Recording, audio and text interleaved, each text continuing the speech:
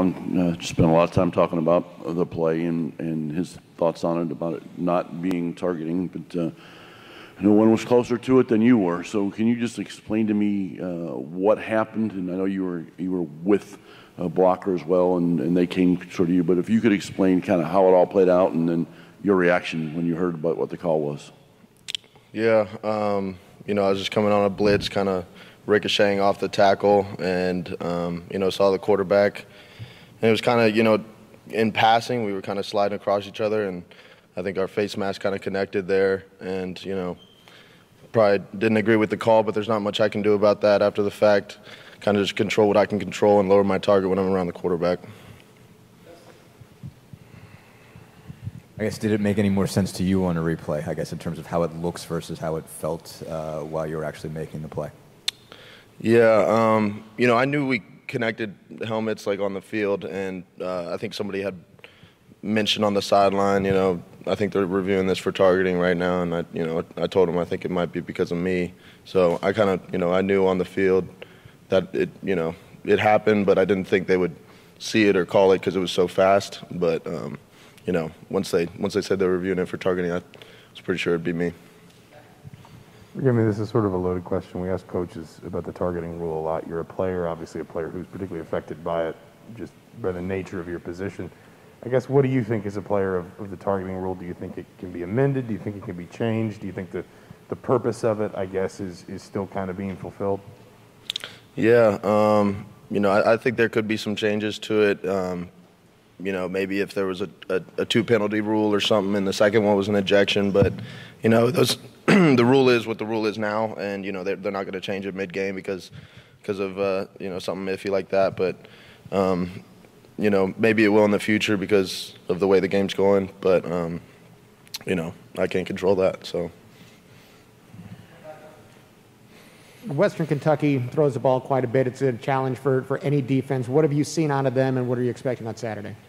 Uh, yeah, really good offense. Uh, you know, big pass threat, and uh, they're you know they're looking to take shots and and uh, threaten you down the field. So um, we definitely got to be on point on the back end and communicate, and all be on the same page so uh, so that we can cover them over the top for sure.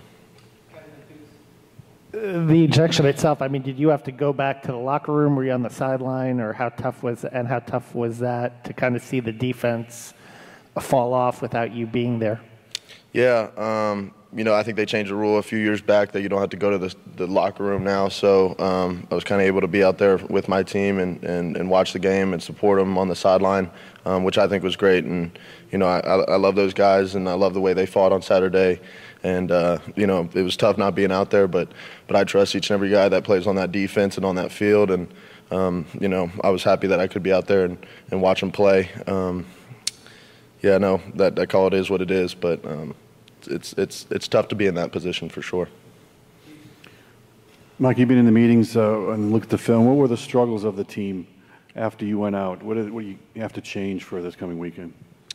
Yeah, um, you know, I, I, think part of it was just a momentum swing, and you know that penalty kind of got their first down that they hadn't gotten in a while, and um, you know they kind of started hitting on some plays and and getting in their groove. But you know, I, I think defensively we played pretty well for that first half, and and even into the second half, we did some really good things. Um, you know, I, I, think just some guys got to really lock in and, and, focus on their, their job and, and just keep communicating. And, and we can't get down when something like that happens. When, you know, there's 11 guys on the field, one player doesn't make the team, and um, you know, guys got to step up and make their play when it comes to them.